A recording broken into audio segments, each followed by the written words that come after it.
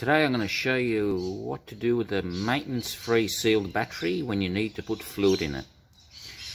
Now the reason we had to put fluid in this battery, this is a brand new battery that was dropped. So we got it for nothing. And it had a hole right in the bottom there where it hit the ground. And lost some fluid out of one cell. So I, I put it on its side and put JB Weld on it that's dried. Then I had to open it up to put the fluid inside and after a few cuts with a cutting wheel I found the six cells. I filled the uh, levels up put it on the battery charger and it charged up well. Now we've got to seal this so what I'm going to do is clean up all these uh,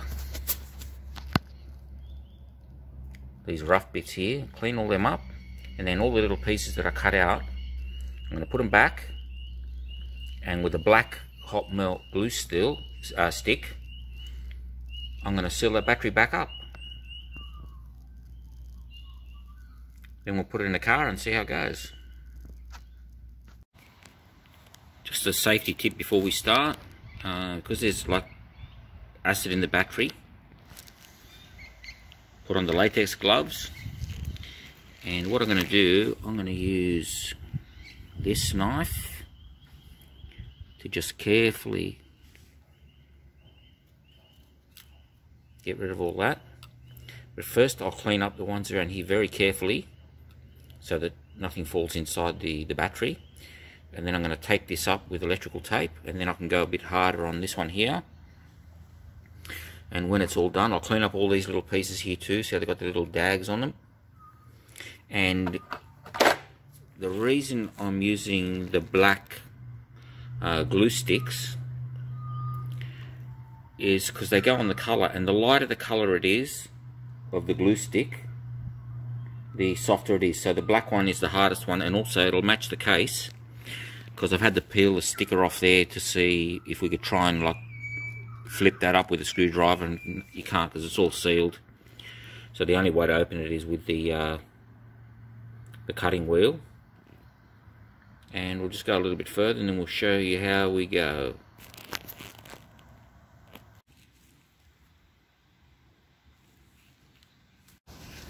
Now I'm almost done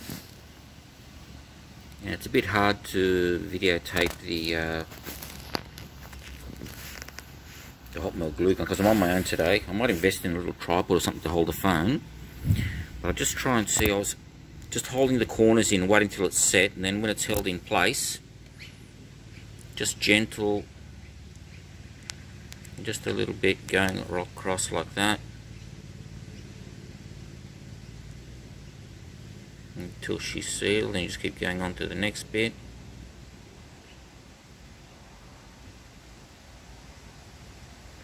So you think she's sealed. Not putting a lot in there. And I'm not going to cut this back either because it'll probably be stronger if I leave it just raised up like that. Doesn't look too bad. Just run along there trying to make it continuous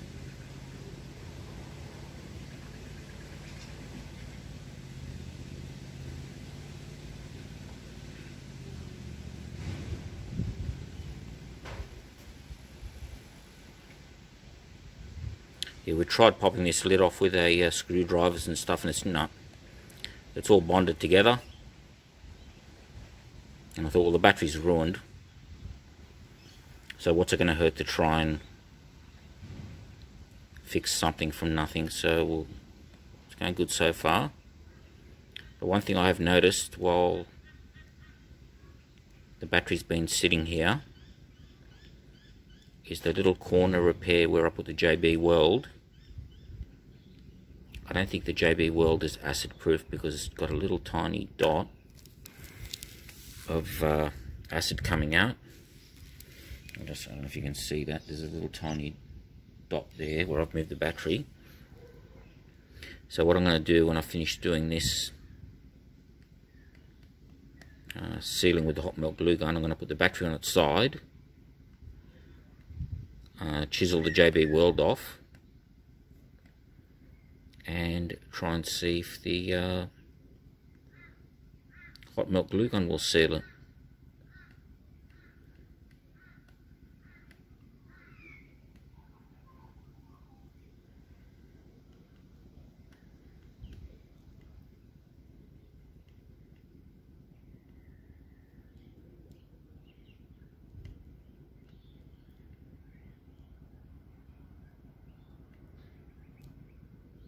I was going on about the safety gear at the start of the video with the latex gloves and the safety glasses which has got the hands and the eyes covered. But I forgot to mention the safety crocs with shoes very important to protect the feet. there's just a little tiny bit there that's got to be sealed. Now the good thing about hot melt glue gun is it sets up in about 15 minutes.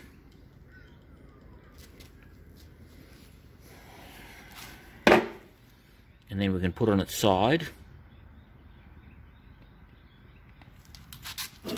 and repair the uh, Let's see if I can show you here.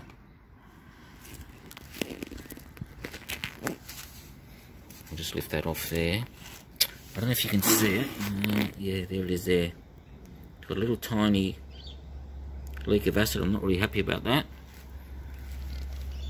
So in a few minutes we'll put this on its side and we'll chisel the JB Weld off.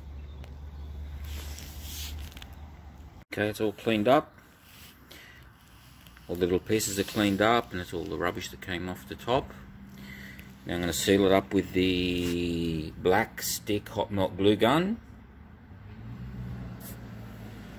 And we'll show you how that looks.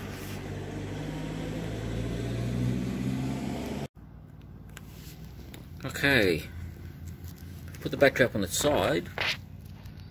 And you can see there the JB Weld has just worn through just by placing it on the concrete, so that wouldn't have been a very good repair anyway. So now I'm going to chisel that off and hit it with the hot melt glue gun. There it is sitting on its side. Try not to keep it there too long, but there's no leaks. So that looks pretty good. So we'll go with take two on, on the repair on the, uh, the leaky battery. Okay, I got the JB Weld off. And I've used the JB Weld on a lot of repairs, and this is the first failure I've had. So what I might do here, before I hot melt glue that, I might just try and plastic weld it, just by using the heat of the uh, hot melt glue gun and a cable tie, and then I'll like a rubber mat or something underneath it to protect it and we'll see how it goes. A bit of a rethink on the, uh, the battery repair.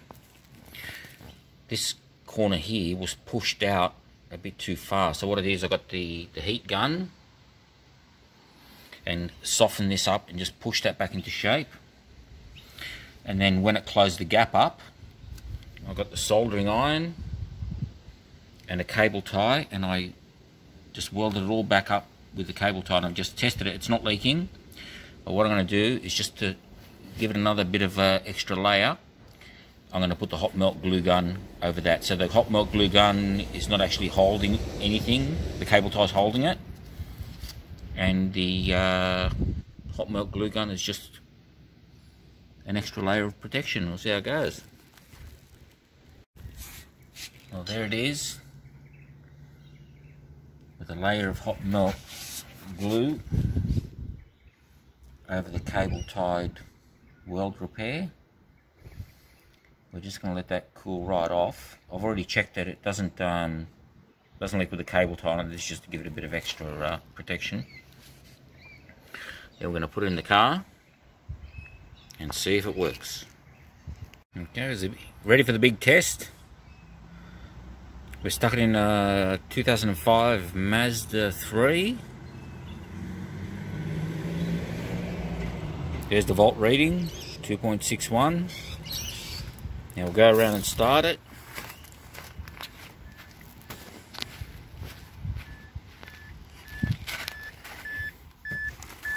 And see what it does. Okay, so far so good.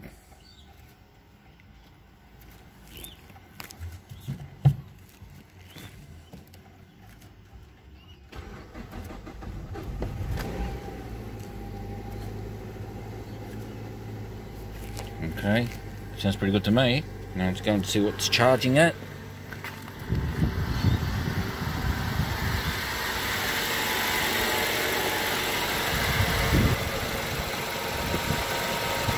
Fourteen point three.